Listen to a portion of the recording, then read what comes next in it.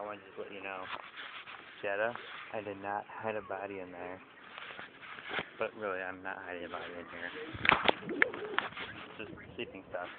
We're going camping in the backyard, so carry everything in here so it's easier to carry. So this is a dead body. so yeah, I'm not hiding a body in here. Don't tell the cops.